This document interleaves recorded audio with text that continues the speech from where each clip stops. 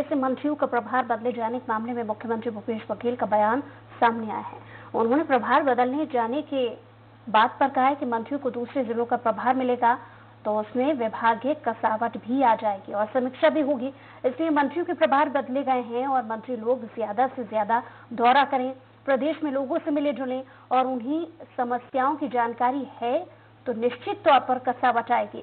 उन्होंने कहा है कि लोकसभा चुनाव के समय मंत्रियों को जो प्रभार दिए गए थे चुनाव बाद मंत्रियों को दूसरे ज़िले दिए जाएँगे। दूसरे जिलों के जो प्रभार मिलेगा तो उसमें विभागीय कसावट भी आएगी और समीक्षा भी होगी। तो इसलिए इसको इस प्रकार से किया गया है कि दूसरे जिलों में दिया जाए ताकि मंत्री लोग ज़्यादा से ज़्यादा दौरा करें, प्रदेश में लोगों से मिले जुले समस्याओं की जानकारी हो। तो उसमें निश्चित रूप से कसावट आएगी।